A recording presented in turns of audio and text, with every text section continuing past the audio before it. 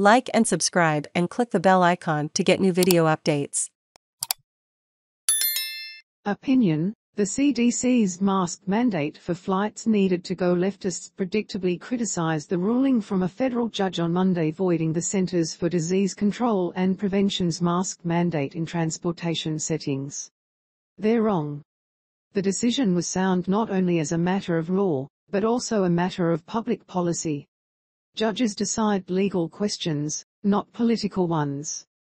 That means critics of a judge's ruling must first examine the merits of their reasoning.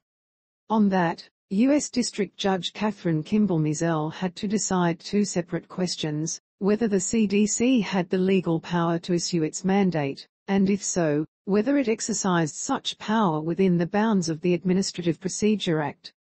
The judge properly ruled against the CDC on both counts.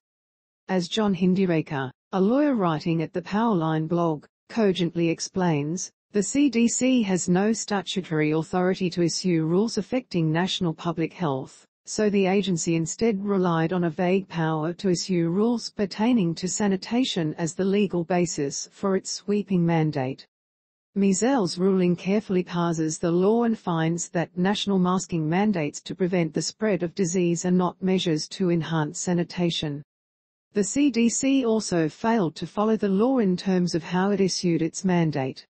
The Administrative Procedure Act requires agencies to allow for public notice and comment on proposed rules to ensure that the rulemaking power delegated to agencies is not carried out in secret. It also preserves some type of democratic input akin to what occurs in Congress, which alone has constitutional authority to pass laws. The CDC issued its mandate without any notice and comment period. While this might have been acceptable in the early, emergency phase of the pandemic, it was clearly not acceptable to bypass this democratic requirement as the health crisis stretched into its second and third years. If lawmakers wanted a mask mandate for flights, they could have simply passed a law that gave the CDC legal authority to issue the rule. Also, they could have amended the Administrative Procedure Act to waive notice and comment in discrete cases such as in a pandemic. Congress summoned the will to pass a series of pandemic relief bills, but never saw fit to make either of these changes. The fact it chose not to has clear consequences. The judge's ruling also makes sense policy-wise at this point in the pandemic. Mask requirements are significant infringements on personal liberty and ought to be employed only in extreme circumstances. Two years ago, COVID-19 cases were overwhelming hospitals, and there were few effective treatments for those who fell ill. Neither is the case today, thanks to the development of vaccines and advanced therapy options. The limited public health gains from the CDC's mask mandates are easily outweighed by the increased freedom people would have by being able to go maskless. This is especially true when considering how small those gains likely were.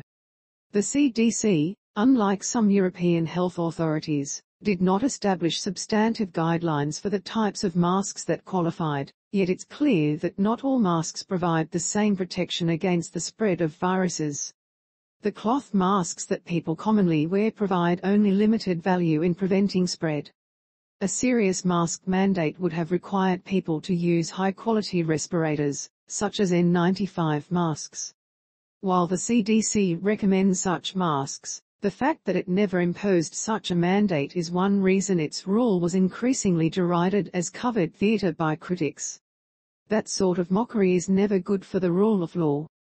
The COVID-19 pandemic was a terrible tragedy, but tragedies should never be used as justifications for blithely casting aside democratic norms and the rule of law. Mizelle's ruling rightly protects those sacred principles and should be praised, not scorned.